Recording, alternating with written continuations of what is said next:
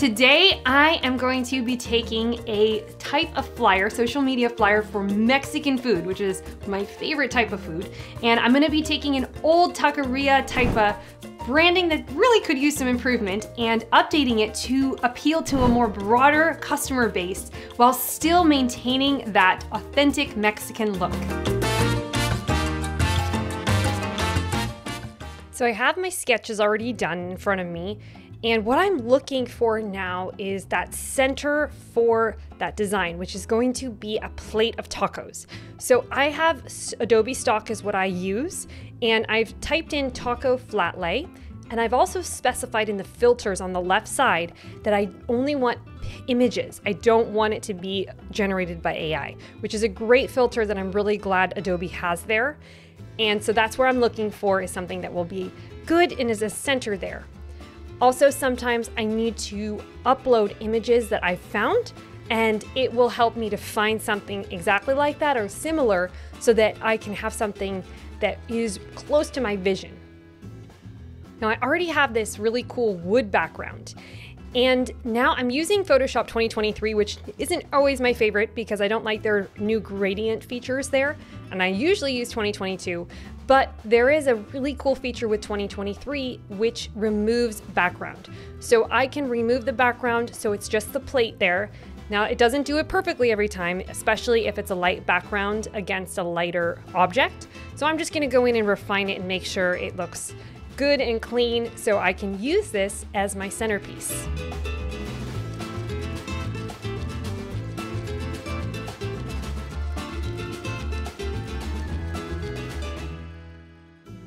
I'm playing with different color backgrounds here of the green and different layer styles to give it the effect that I'm going for.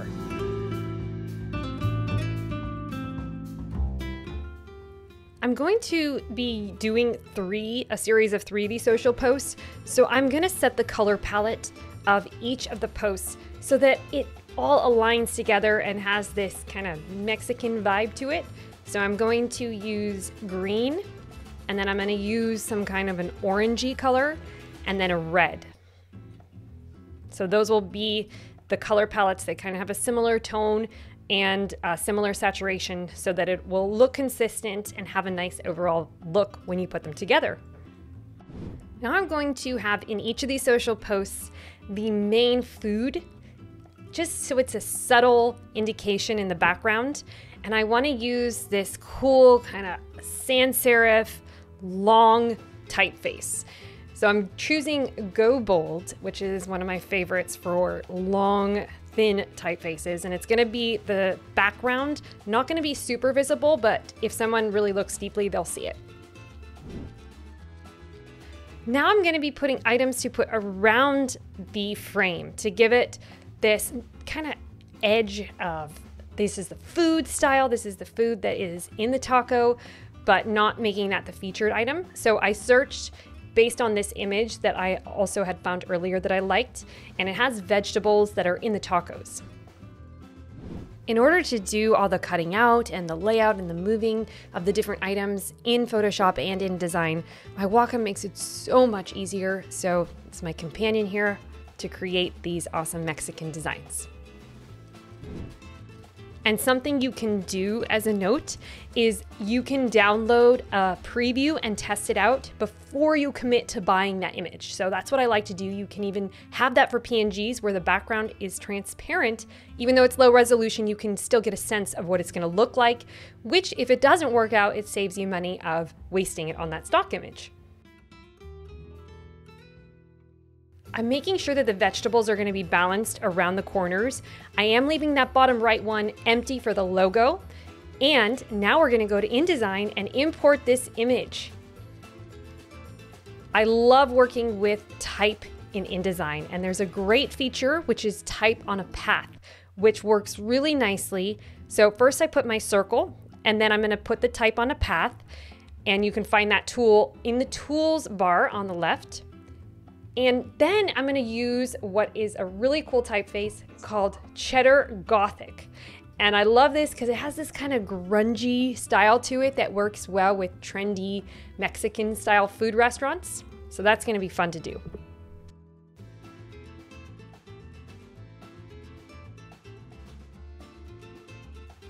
So I'm deciding to have this be hot and spicy on the top and then Taco Tuesday on the bottom.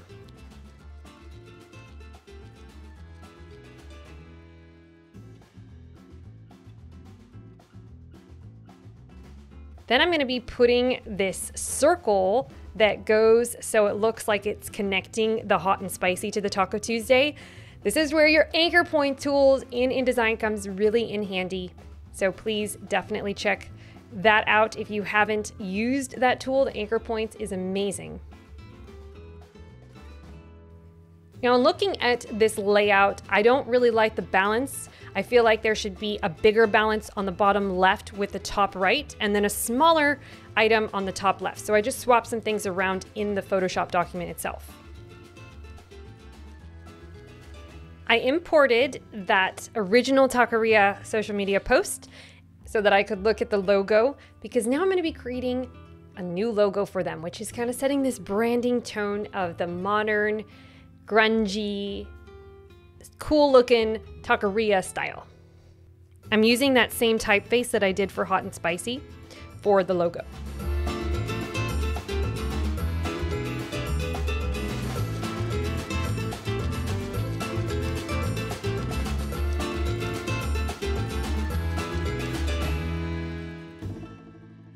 Now it's time to make the next of the series of three.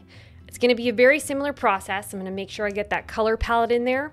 And this one is gonna be for nachos. So that orange for cheese is very appropriate. So I'm gonna be switching out all the colors now. I'm gonna change the background and we're gonna have to go hunt for nachos in the stock images.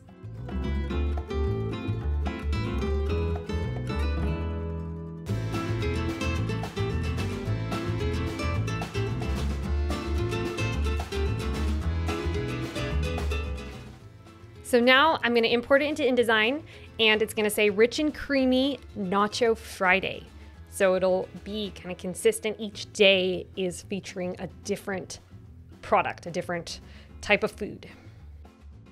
I'm going to be using some other aspects from that original stock image that we got for the Taco Tuesday one so that I can shake up some other vegetables and use some other elements without having to buy a new one because there's a lot of similarities in the vegetables that are in the tacos and the nachos.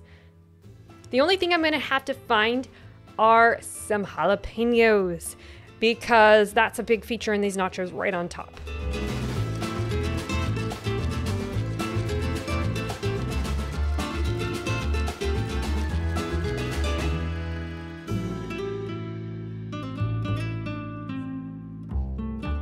So now it's time to make burrito Sunday. I love burritos. And this one is going to be that red background. So we're gonna duplicate that page in InDesign, get it ready, and we're gonna go duplicate the Photoshop file as well. Gonna make that red background, and we're gonna have to go do our search for a really yummy looking burrito.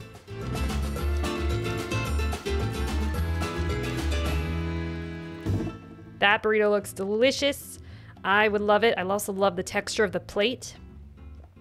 Now this one does have some corn in the burrito. So I wanna make sure that I have, since I want them to all look different with those accent vegetables around it, I'm gonna find some corn kernels that I can add to add some dimension, different colors in there. Also, I'm looking for a different type of vegetables because I think I used everything I could get out of that other one.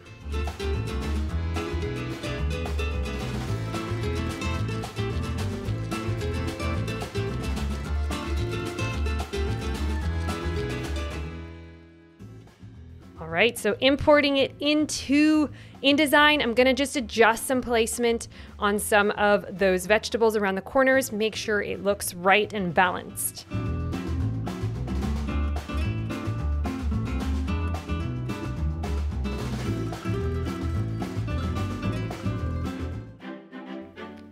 And there we have our three designs the tacos, the nachos, and the burritos.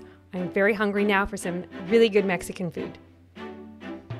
So this is my Mexican twist on a modernistic design that still will appeal to those who like Mexican food and my Mexican husband approves of it. So got that stamp of approval. And just so you know as an update, the reason I haven't been posting a lot on YouTube is because I've been working on a branding course. And in between running the my design business and also doing the branding course, it is a lot of work. I wanna make this a really comprehensive course for you to be able to walk you through everything you need for that. So look for that coming up in the spring.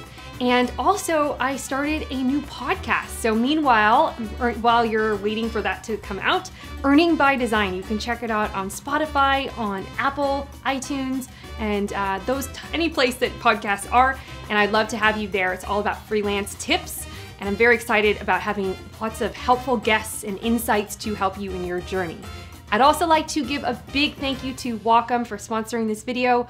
Always, always will love my Wacom and it gets me, it's allowed me to do the designs I do. So thank you to Wacom and for each of you, I appreciate all of you and I hope you have a really great day and the rest of your week. Thanks very much and I'll see you next time.